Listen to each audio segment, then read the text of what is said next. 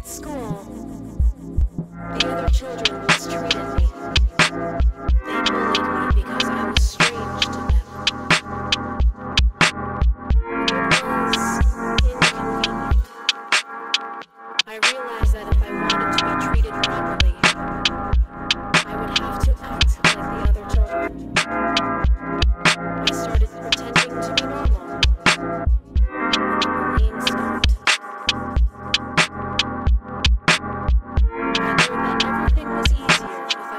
myself to act like a normal person.